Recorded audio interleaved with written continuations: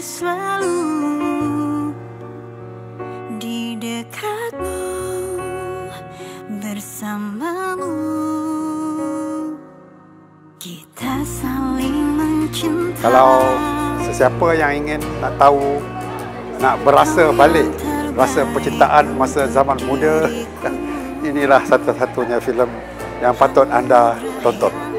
filem yang tersangat Masya Allah Dua Syurga Dalam Cintaku Memang harus ditonton Khususnya buat anak-anak muda Bagaimana kita tak mengawal emosi kita Apabila kita berada di dalam situasi Dua uh, percintaan.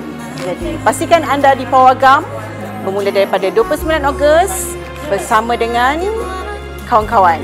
Okey, ajak ramai-ramai ke Pawagam untuk tonton Dua Syurga dalam Cintaku.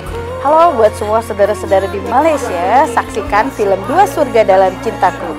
Film ini saya sebagai produser dan penulis novelnya adalah almarhum suami saya. Saya sangat berterima kasih sekali film ini bisa sampai tayang di layar lebar di Malaysia. So, jangan lupa tonton. Terima kasih. Assalamualaikum warahmatullahi wabarakatuh. Saya Kera Syabira berperan sebagai Husna.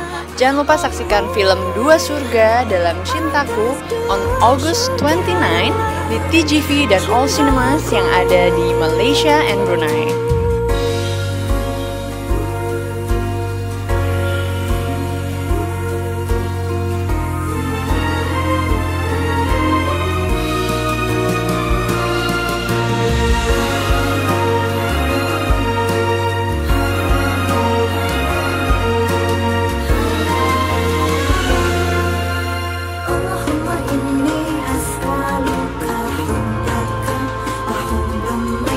Hai semua, Assalamualaikum. Saya Azlin. Uh, uh, jangan lupa saksikan Dua Syurga Dalam Cintaku pada 29 Ogos ini. Kau jabak ajak semua ramai-ramai bersemua. Sebab apa? Cerita yang bagus. Masya Allah, cerita yang mendekatkan kita dengan Allah. Uh, overall, I boleh bercakap korang kena tengok sendiri Sebab memang bagi I is something different and tak klise lah Nak cakap tak klise pun dia something that you macam You will wait for next, for next, for next until the end of the movie Yeah, korang kena try tengok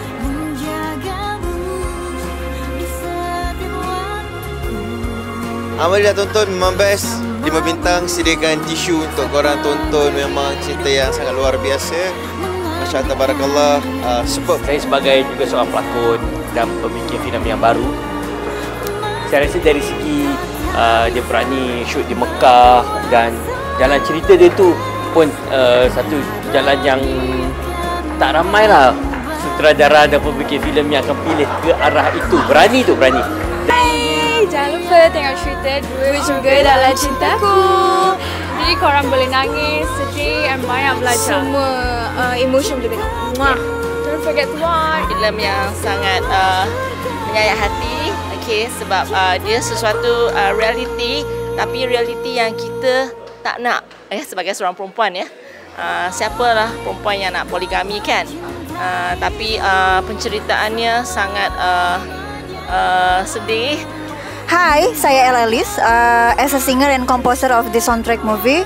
Jangan lupa saksikan film Dua Surga Dalam Cintaku di semua sinema di Malaysia tanggal 29 Agustus 2024. Jadikan diri sepenuhnya untukmu.